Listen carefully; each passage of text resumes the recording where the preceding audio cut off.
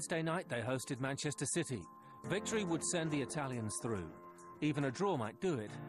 Defeat for Roma would see City qualify, depending on results elsewhere. Roma began brightly, with Gervinho testing Joe Hart. After an hour, Roma's defence retreated, and Samir Nasri took his invitation to strike. A memorable goal that stunned the Stadio Olimpico. In response, Radja Nainggolan took aim, before Totti's night came to an end. There was time for another Hart save from Kostas Manolas. But Roma were heading out, and Pablo Zabaleta's late goal sends them into the UEFA Europa League. But that won't dilute one man's unquenchable desire to wear their famous shirt. In the other game in Group E, Bayern ended CSKA Moscow's hopes of qualification with a 3-0 win over the Russians. Mario Götze completing the scoring in the 90th minute. Wins in their last two games secured Manchester City a place in the knockout phase alongside Bayern.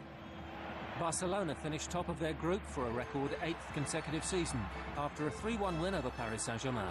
Lionel Messi, Neymar and Luis Suarez with the Barca goals. Guaranteed international football after the winter break with a 4-0 win over APOEL. Lasse Schöne scored two of the Amsterdamers' four goals as they eased into the UEFA Europa League. Barcelona and PSG enter the knockout phase, whilst APOEL finished Group F winners. Porto drew 1-1 against Shakhtar Donetsk on Wednesday after the Ukrainians had taken the lead. Vincent Aboubakar rescued a point for the hosts three minutes from time as they finished the group stage undefeated. Athletic Bilbao sealed third place in the group with a 2-0 win over Bate Borisov. Mikel San Jose was on target for his third successive game as Athletic ended the group stage with consecutive victories. Bate conceded a record 24 goals in six matches. Porto and Shakhtar progress.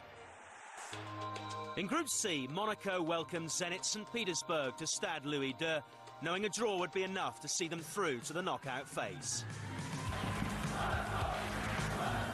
For the visitors, the equation was simple. Win and qualify at Monaco's expense.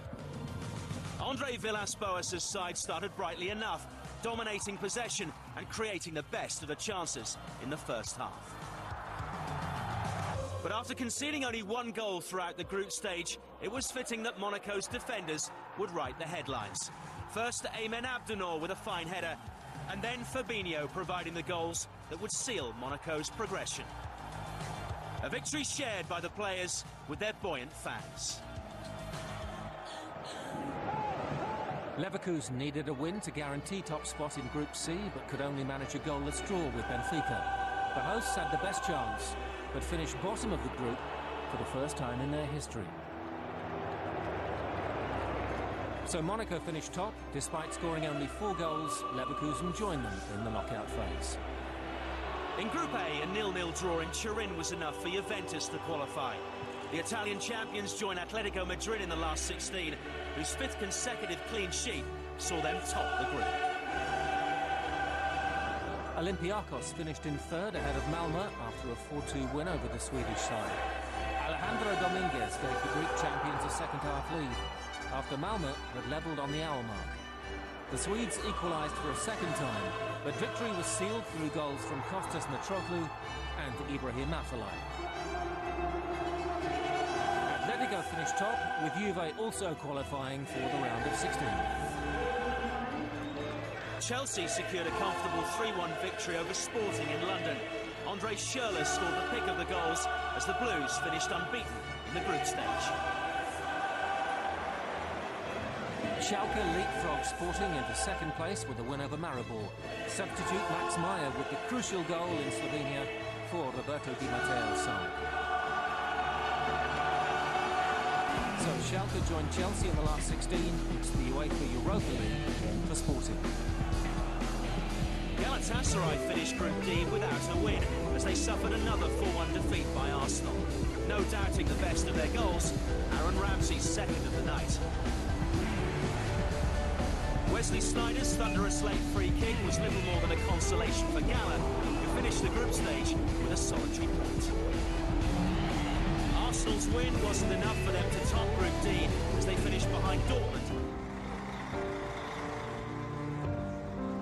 A two-all draw with Liverpool on match day five wasn't enough to keep Ludogorets in this year's competition. But travelling to the iconic Santiago Bernabeu to face the current holders seemed like a fitting end to a truly remarkable journey. And an opportunity to not just capture, but savour the moment. On the night, however, once Ludogorets were reduced to 10 men, Real were just too strong.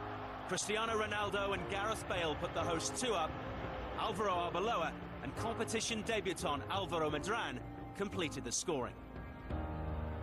4 0 it finished, but for Ludogorets Razgrad, plenty of cause for optimism for future campaigns. With Real Madrid confirmed as Group B winners, all eyes turn to Anfield and Liverpool's meeting with Basel to see who would join the holders in the round of 16.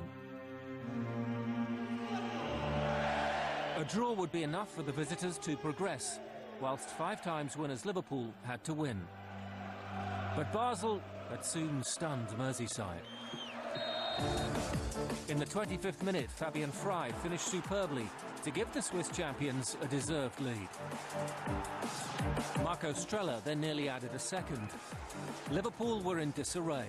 With time running out and Brendan Rodgers' side down to 10 men, Steven Gerrard, who else, breathed life into their campaign. Ten years ago, the Reds came back from a similar group stage position, but there would be no fairy tale this time. FC Basel progressed to the knockout phase for just the second time in 12 years. For Liverpool and their coach, their UEFA Champions League journey ends here.